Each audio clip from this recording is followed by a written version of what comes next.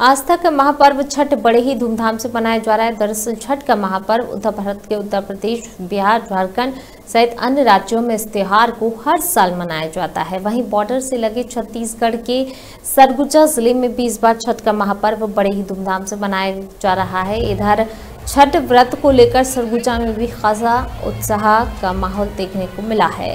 आपको बता दें, चार दिन तक चलने वाले छठ पर्व का आज समापन होगा, जहाँ शहर के प्रमुख घाटों के साथ डूबते और उगते दोनों ही समय भगवान सूर्य के अर्घ देते हैं। गौरतलब है कि सूर्य का यह व्रत उत्तर भारत में काफ़ी मशहूर है और साल में दो बार ये व्रत होता है। लेकिन कार्तिक महीने के छठ पूजा का विशेष महत्व है अधिकतर लोग इसी समय न सिर्फ़ उत्तर भारत, बल्कि पूरे ही भारत के साथ अलग अलग देशों में जहाँ भी उत्तर भारतीय पहुँचे हैं, ये छठ व्रत पहुँच चुका है।